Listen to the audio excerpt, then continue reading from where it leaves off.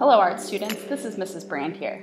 Today I'm going to show you how to prepare a screen for screen printing your logo or another design from a vinyl cut.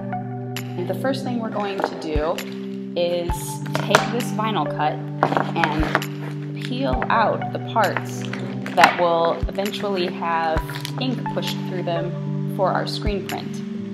We have a toolkit that consists of several tools that we will use for pulling apart the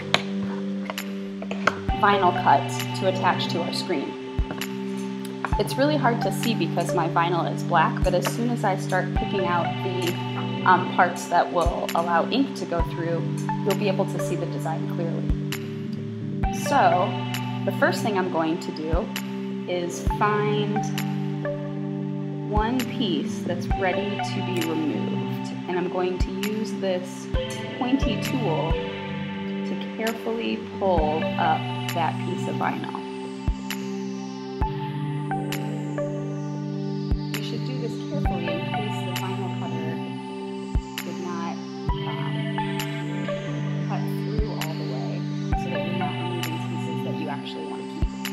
Um, this part right here is starting to be removed I actually want to leave it down. So I'm going to use my tool hold down the inside shape as I peel the outer outline. Almost finished. So this is my logo.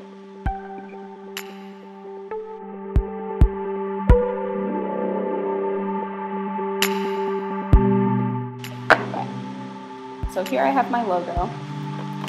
Discard all the extra vinyl pieces that we don't need. The next step is to take this vinyl stencil and attach it to my screen. And I'm going to use this piece of plastic to help me adhere it. I'm going to use contact paper as a transfer paper. So the first thing I'm going to do is peel the backing from the contact paper. And then I'm going to place the contact paper on top of my design. And then this is where the plastic piece becomes very handy because I can smooth the design down.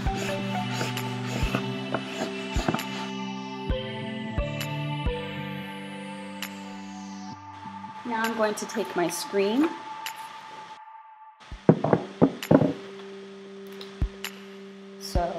now I'm going to find the center of my screen and I'm going to place my vinyl on there.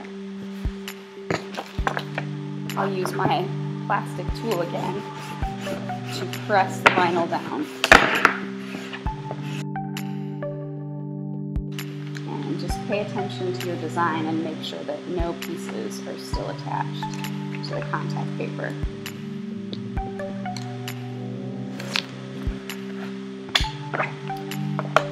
Now, a screen is made up of a really fine mesh, and this mesh is what allows the ink to be evenly distributed onto your paper or garment.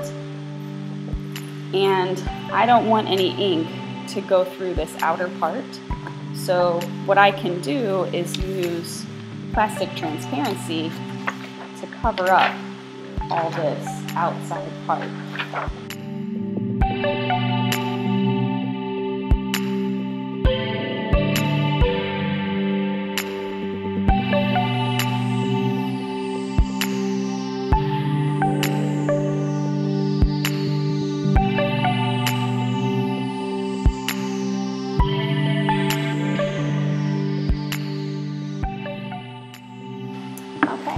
and now I have my screen blocked off and my logo is ready for screen printing. Thank you.